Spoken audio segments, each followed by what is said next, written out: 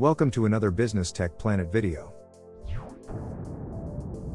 Today, we'll show you how to turn notification sounds on or off in Microsoft Teams.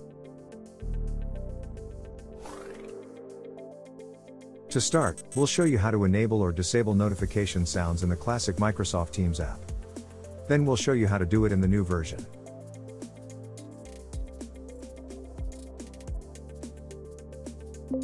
In Microsoft Teams, you'll receive sound notifications for new messages, channel or app mentions, meeting invitations, incoming calls, and missed activity.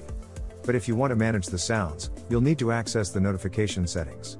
In classic Microsoft Teams, click the three dots next to your profile image in the top right. Then select Settings from the dropdown. In Settings, head across to the Notifications tab.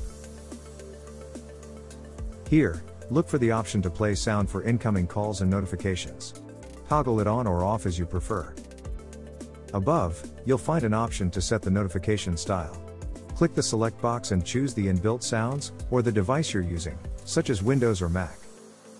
To mute or unmute meeting chat notifications, head down and click the edit button next to meetings and calls.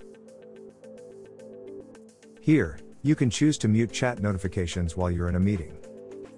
And if you want to mute chat notifications in meetings and calls, turn on the toggle at the top. In the new Microsoft Teams, again, start by hitting the three dots in the top right, and going to Settings in the dropdown. In Settings, head to Notifications and Activity in the left menu. Now go across to the Notifications section, where you can choose whether or not to play sounds with notifications or whether to play sounds for incoming calls, meeting requests, and meeting start notifications. Unfortunately, you won't be able to set the notification style in the new version. But if you head down, the option to mute or unmute chat notifications in meetings is more accessible.